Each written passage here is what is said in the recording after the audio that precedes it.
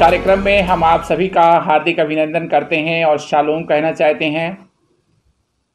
परिस्थितियाँ चाहे जैसी भी हों, हमारा परमेश्वर कभी नहीं बदलता और उसका वचन कभी नहीं बदलता। हमारी बाइबल जो है, वो हमसे बातें करती है और हमारा परमेश्वर कभी हमें अंधेरे में नहीं रखता।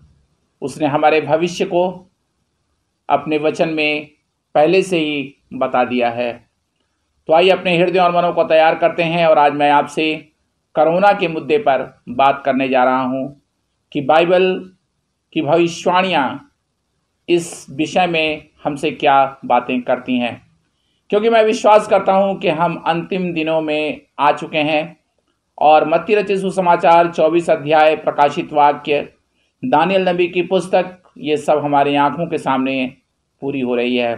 सच तो यह है कि अब विश्वासियों को जो यीशु मसीह के साथ एक गहरा संबंध रखते हैं, उन्हें इस करोना के मतलब को और करोना की घंटी को I am using a word corona की घंटी, एक आहट आ रही है, एक तुरही फूकी जा रही है, एक संकेत आ रहा है, एक इशारा आ रहा है, आत्मा में एक शब्द गूंज रहा है, जागते रहो और प्रार्थना करते रहो। और मैं जानता हूँ, आप यही काम कर रहे हैं। लेकिन अब आपका जीवन चाहे जैसा भी रहा हो, आप कैसा भी जीवन बिता रहे हों, लेकिन अब आगे को हमें सावधान हो जाना चाहिए। विनती सुनने वाले, मेरे आँसू निहारने वाले। चंगाई देने वाले करता हूँ तुझको प्रणाम। विनती सुनने वाले, आपके कमरों में, आपके घरों में, आप जहाँ कहीं भी इस कार्यक्रम को देख रहे हैं, पवित्र आत्मा का स्वागत करिए और अपने जीवन को क्रूस के पास ले आइए। विनती सुनने वाले, मेरे आँसू निहारने वाले, चंगाई देने वाले। मेरे इस कार्यक्रम के ख़त्म होते होते मैं अंत में आपके लिए प्रार्थनाएँ करूँगा, क्योंकि यही सेवकाई प्रभु ने मुझे सौंपी है।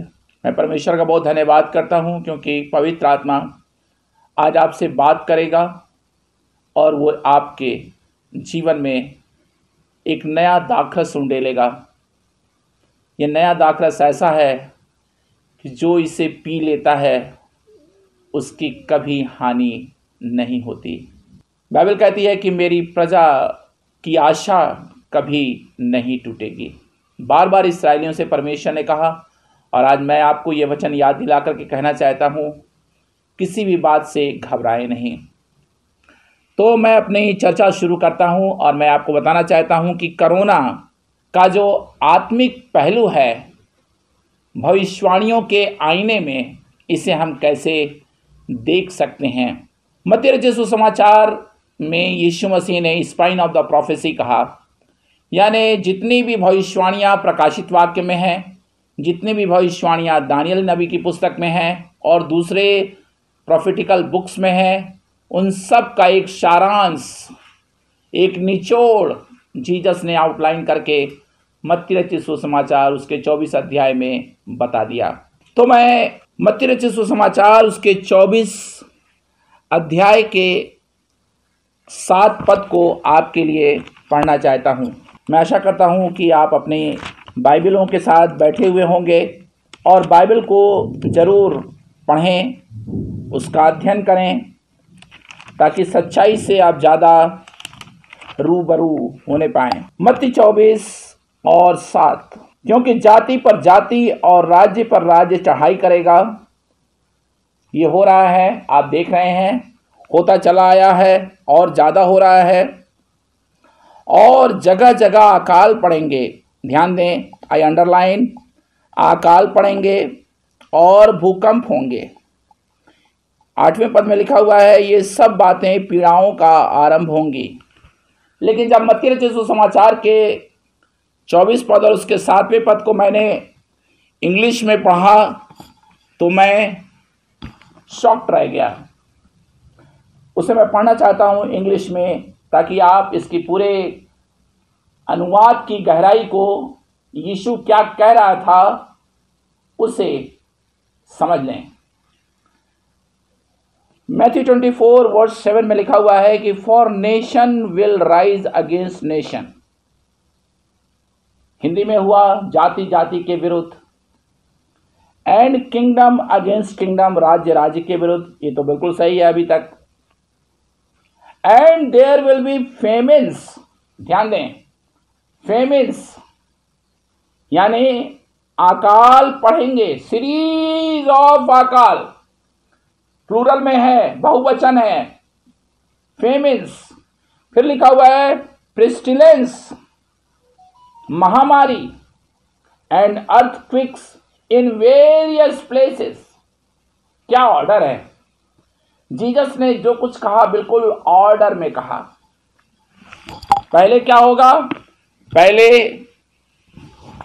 अकाल पड़ेगा, फिर भूकंप आएगा, फिर महामारी आएगी वंडरफुल है ये तो। इंग्लिश में लिखा हुआ है फेमिन्स उसके बाद महामारी और उसके बाद भूकंप। लेकिन भूकंप और अकाल तो हिंदी में है, लेकिन अंग्रेज़ी में प्रेस्टिलेंस है ही नहीं। मेरा ध्यान अब जा रहा है कोरोना की तरफ़। हिंदी में लिखा हुआ है, ध्यान दें वहाँ पे जगह जगह अकाल पड़ेंगे। आप देख रहे हैं, अकाल पड़ते चले आ रहे हैं। लेकिन, अब अकाल ज़्यादा पड़ रहे हैं। आप देख रहे हैं, कोरोना के कारण कितनी आर्थिक समस्या हो चुकी है। महँगाई कितनी बढ़ गई है। बेरोजगारी कितनी बढ़ गई है। फाइनेंशियल प्रॉब्लम कितनी बढ़ गई है। और भूकंप होंगे। भूकंप तो आप कहेंगे कि भाई रंजीत भूकंप तो हम कब से देख रहे हैं? काठमांडू का हमने भूकंप देखा है। बड़े बड़े राष्ट्रों का हमने भूकंप देखा है। लेकिन अभी जो भूकंप आ रहे हैं, वो बहुत जल्दी जल्दी आ रहे हैं। झटके जो हैं, वो जल्दी जल्दी आ रहे हैं। अभी कुछ ही दिनों पहले दिल्ली में दो बार झटके आए, झारखंड में एक बार आया। एक संकेत मिल रहा है। और ये जो वर्ड है पेस्टिलेंस महामारी मैं आपको बताना चाहता हूँ कि महामारी जो शब्द है पेस्टिलेंस इसका बहुत ही गहरा संबंध प्लेग से है। इसके अंदर मृत्यु का पुट भरा हुआ है। मृत्यु का सारांश, मृत्यु का डंक, यानी मौत। आप देख रहे हैं इन दिनों में महामारी कैसे फैल रही है। पूरे विश्व में फैल चुकी है और बहुत ज़्यादा लोगों की मृत्यु हो रही है। सारे राष्ट्र, हगई नबी ने कहा कि I will shake the nation सारे राष्ट्र हिलाए जा रहे हैं। चाहे वो राष्ट्र क्रिश्चियन हो, चाहे वो नॉन क्रिश्चियन हो, सभी राष्ट्र हिलाए जा रहे हैं। तो एक वचन यहाँ आ रहा है, जहाँ हमें थोड़ा सा ध्यान देने की ज़रूरत है। तो आइए पढ़ते हैं पाँचवें पद से, मत्ती रचित सुसमाचार चौबीस के पाँचवें पद से, क्योंकि बहुत से ऐसे होंगे जो मेरे नाम से आकर कहेंगे, मैं मसीह हूँ और बहुतों को भरमाएँगे। तुम लड़ाइयों और लड़ाइयों की चर्चा सुनोगे तो घबरा ना जाना, क्योंकि इनका होना अवश्य है, परंतु उस समय अंत ना होगा। ये भी आजकल चर्चा चल रही है कि अंत निकट आ गया है, नो डाउट। अंत निकट आ गया है। यीशु मसीह का आगमन पहले से ज़्यादा निकट आ चुका है। मैं तो इस तरीके से इसे देखता हूँ कि करोना के द्वारा परमेश्वर जो है, वो विश्व को शुद्ध करना चाहता है, क्षमा करना चाहता है, विश्वासियों और कलिसियाओं को अपने आगमन के लिए तैयार करना चाहता है। क्योंकि इस समय मैं देख रहा हूँ कि परमेश्वर का पवित्र भय लोगों में आ चुका है और लोग अपना रुख जीजस की ओर कर रहे हैं। यदि आप यीशु मसीह में ज़्यादा मज़बूत होंगे तो आप यीशु मसीह के साथ जाने के लिए तैयार भी होते जाएँगे। आठवें पद में लिखा हुआ है, और ये सब बातें पीड़ाओं का आरंभ होंगी। हियर आई एम पीड़ाओं का आरंभ का मतलब है पीड़ा जो शब्द है, उसका मतलब है जच्चा बच्चा की पीड़ाएँ। पॉलुस इसका उल्लेख करता है, लेबर पेन। यीशु मसीह के आगमन से पहले ये लेबर पेन जो है, वो स्टार्ट हो चुका है। और ये लेबर पेन जो है, वो शरीर में नहीं है। ये हमारी आत्मा में है। Are you groaning in the spirit क्या आप आत्मा में कह रहे हैं? आपको मालूम? जब इसराइलियों का छुटकारा हुआ, निर्गमन बारह अध्याय में उसके पहले हम पढ़ते हैं कि इसराइली कह रहे थे। ये बात ठीक है कि वो दास्ता के कारण कह रहे थे, लेकिन आत्मा में भी वो कह रहे थे। आत्मा का कहरना हमें परमेश्वर के निकट और ज़्यादा ले चलता है। अब मैं पढ़ूँगा आपसे लूका रचित सुसमाचार, उसका 21 अध्याय। मैं याद दिलाना चाहता हूँ आपको कि जो भूकंप है और अकाल है और पेस्टिलेंस है, महामारी है, ये सब प्लूरल में है। यानी सीरीज़ ऑफ़ इवेंट ऐसा मत सोचिए कि कोरोना के बाद कोई और घटनाक्रम नहीं आएगा। घटनाक्रम आते रहेंगे, क्योंकि परमेश्वर जो है वो हमें रूपांतरण की ओर ले जा रहा है, हमको बदल रहा है, हमें तैयार कर रहा है। जो डाली मुझमें है, वो बनी रहती है। और यीशु मसीह ने कहा कि मैं उसको काटता हूँ और छांटता हूँ। Pruning hello are you getting me pruning छटाई हो रही है। जब किसी फूल को काटा और छांटा जाता है, जब किसी वृक्ष को काटा और छांटा जाता है वो और फलता है। आज आपसे कहना चाहता हूँ, प्रभु यीशु मसीह के नाम में, जब आप यीशु से मिलेंगे और जब वो आपको जीवन का मुकुट पहनाएगा, आपके हाथों में फल होंगे। हम फ्रूट्स ले करके यीशु मसीह के पास जाएँगे और इसकी तैयारी जो है, वो हर विश्वासी को, बड़े ही विश्वास योग्यता के साथ करना चाहिए। 21 अध्याय को पढ़ूँगा लूका रचित सुसमाचार और उसका 21 अध्याय। उसके 25 पद से, सूरज और चाँद और तारों में चिन्ह दिखाई देंगे। वंडरफुल और पृथ्वी पर देश देश के लोगों को संकट होगा। ध्यान दें, संकट होगा। महामारी और संकट शब्द एक साथ चलते हैं, क्योंकि वे समुद्र के गरजने और लहरों के कोलाहल में घबरा जाएँगे। अभी क्या हो रहा है? घबराना हो रहा है। एक घबराहट, एक दहशत, एक डर लोगों के अंदर समा चुका है। कैसे क्या होगा? कहीं कोई महामारी मेरे ऊपर ना आ जाए। कहीं कोई वायरस हमारे ऊपर ना आ जाए। ये तो सच है, लेकिन विश्वासियों के लिए एक अच्छी खबर है। और खबर यह है कि जब हम धर्मी जन के रूप में परमेश्वर के साथ संबंध रखते हैं तो कोई करोना आपको नहीं छू सकता। Hallelujah hallelujah cheer up you are covered under the blood of Jesus you are a covenant person आप एक बाचा के लोग हैं। नई बाचा से हम जुड़े हुए हैं। हम परमेश्वर की संतान हैं और ये हमारा अधिकार है कि हम यीशु मसीह में मृत्यु की बीमारियों से, चाहे वो वायरस हो, चाहे कुछ भी हो, हम बचे रहेंगे। अब मैं खोलना चाहता हूँ प्रकाशित वाक्य छः। अभी मैं आपको बिब्लिकल बैकग्राउंड समझाने में लगा हुआ हूँ। प्रकाशित के छः अध्याय के सातवें पद से। जब उसने चौथी मुहर खोली तो मैंने चौथे प्राणी का शब्द ये कहते हुए सुना, आ, आठवां पद। मैंने दृष्टि की और देखो, एक पीला सा घोड़ा है, ध्यान दें। पीला घोड़ा, यानी बीमारी का घोड़ा, मृत्यु का घोड़ा। उसके सवार का नाम मृत्यु है और अधलोक उसके पीछे पीछे है। अधलोक उसके पीछे पीछे है। ये पूरा चैप्टर जो है एंटी क्राइस्ट का है।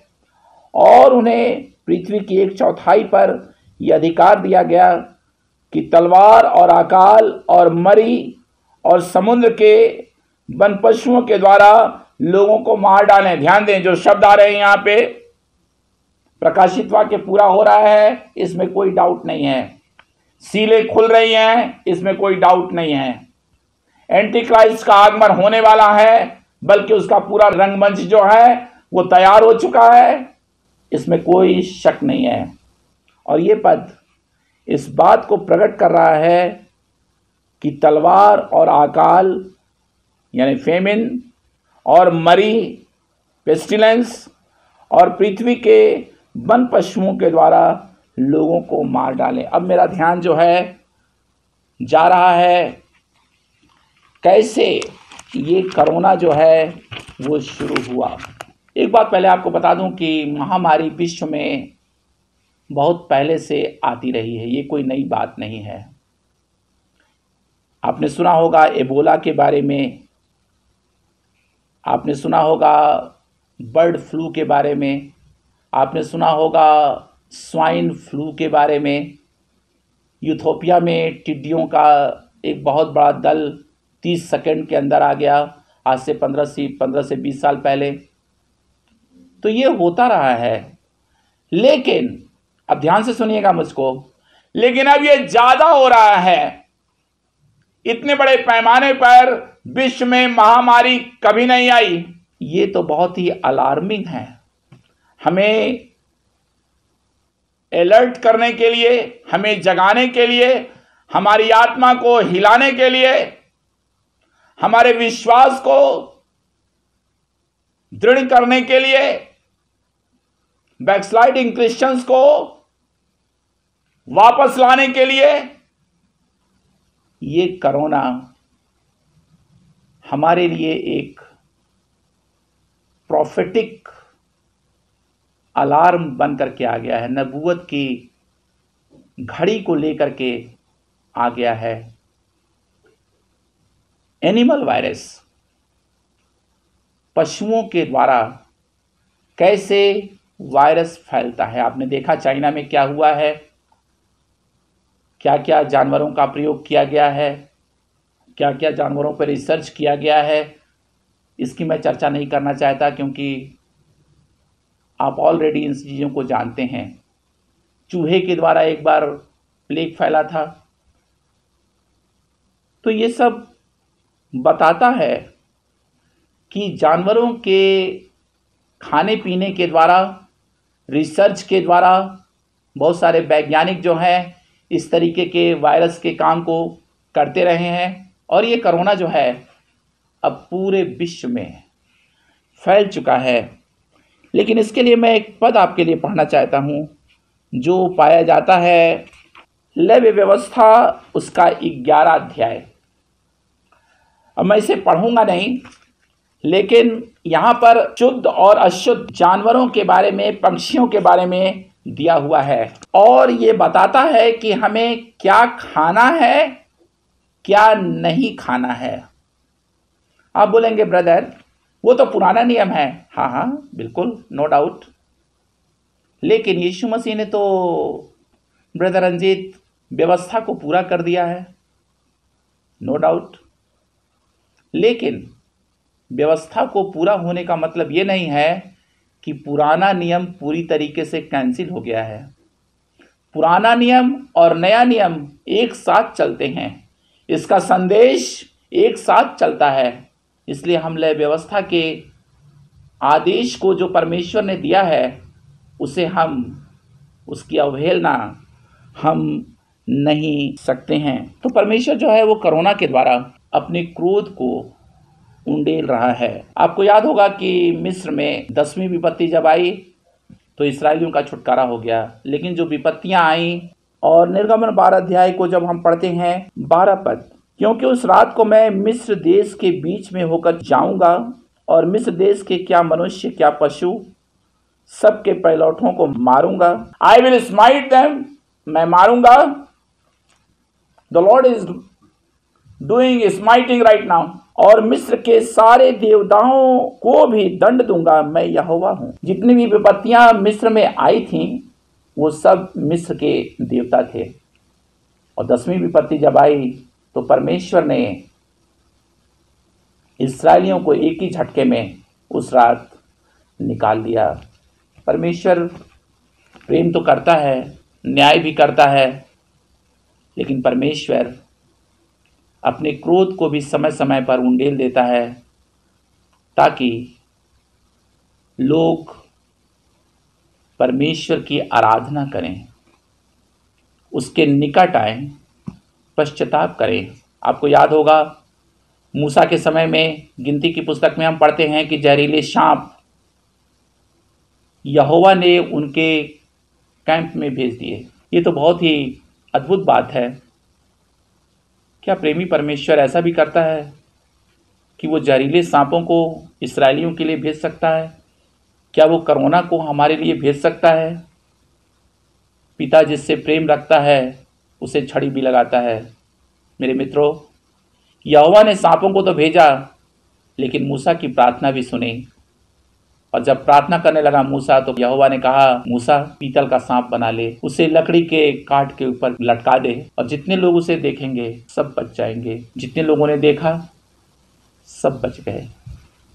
आज मैं आपसे कहना चाहता हूँ, कोरोना के इस दौर में, मृत्यु की बीमारियों के बीच में, डर के बीच में, संघर्षों के बीच में, अकाल के बीच में, भुखमरी के बीच में, यदि आपको कहीं देखना है तो यीशु मसीह की ओर देखें और परमेश्वर जो है, वो आपका उपाय करेगा। ताड़ना ज़रूरी है। ताड़ना जो है, वो परमेश्वर का प्रेम का एक अलग पहलू है।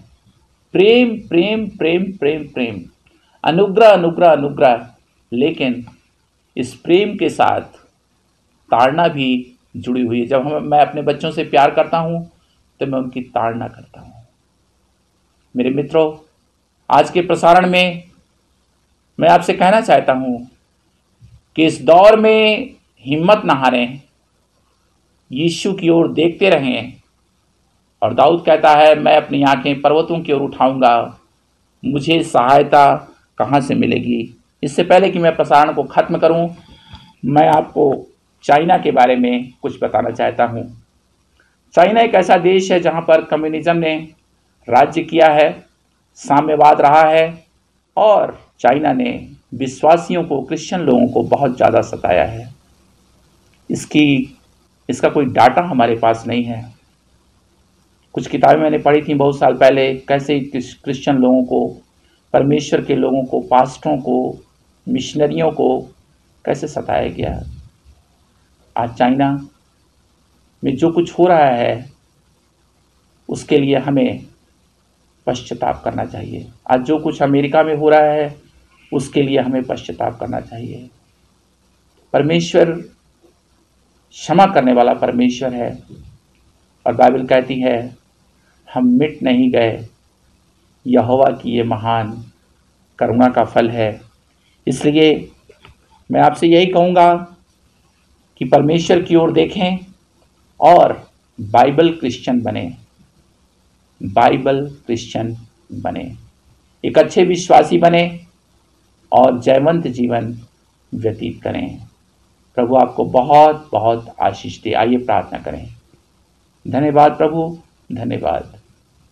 यीशु मसीह के नाम में अपने सारे भाई बहनों को, विश्वासियों को, कलिसियाओं को, पार्टनर्स को, सबको मैं तेरे चरणों में लाता हूँ और मैं कहता हूँ, प्रभु, हरेक का जीवन शुद्ध हो जाए।